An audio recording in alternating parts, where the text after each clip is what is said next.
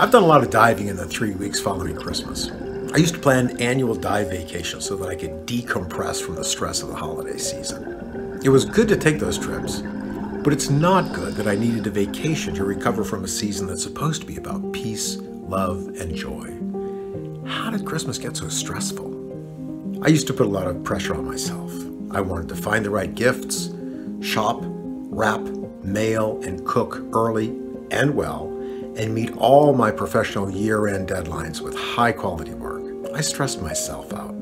Throw in some holiday travel, a little bad weather, a few challenging family dynamics, and the best version of myself didn't always show up for Christmas. I'm not proud of that, but I have to be honest. Maybe you've had that experience too. Then I would go diving. I would sink beneath the surface of the ocean, breathe, adjust to increasing pressure as I descended, achieve balance in the water, and just float.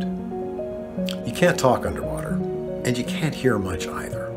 I would leave my worries at the surface and just be fully present in the moment. There are so many wonderful and interesting things to see underwater.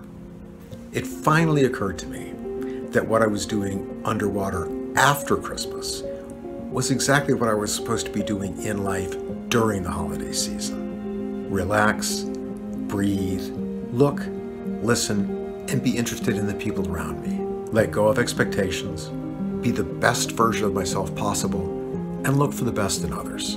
It doesn't eliminate holiday stress completely, but it also doesn't create any either, which is probably our greatest contribution to a season of peace, love, and joy. I hope you're having a good, stress free season, whichever holiday you celebrate. Let us know what stresses you out this season, and especially what you do to manage it.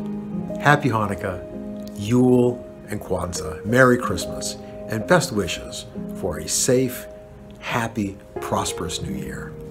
Stream Breaking the Surface right here on YouTube